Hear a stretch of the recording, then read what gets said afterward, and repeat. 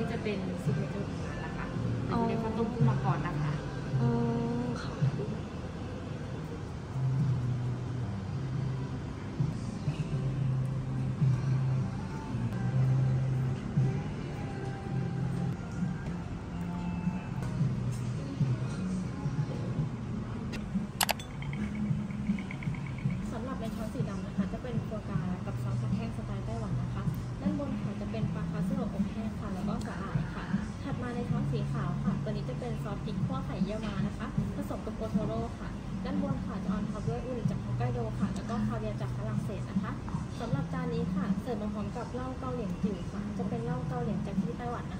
จะมีดีกรี 58 ดีกรีค่ะ แต่ว่าทางเชฟค่ะได้เบิร์นไปมา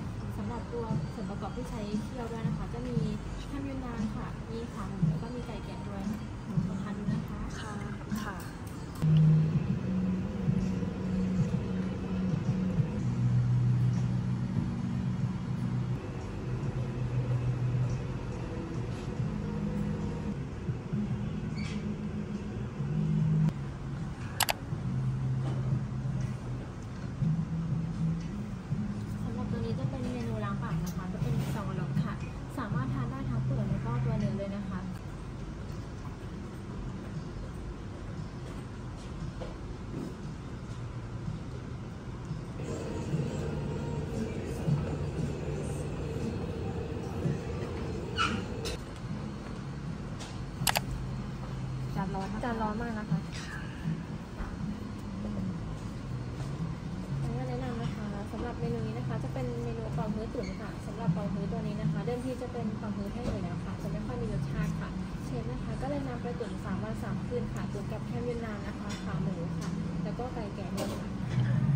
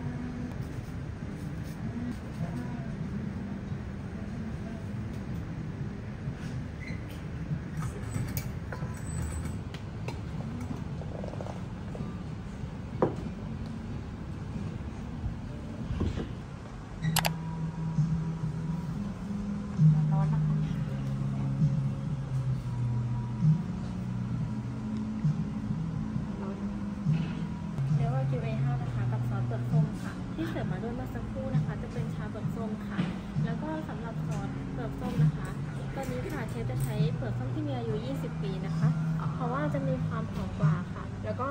รสชาติถึงรสชาติฝาดอย่างเงี้ยค่ะ จะไม่มีแล้วค่ะ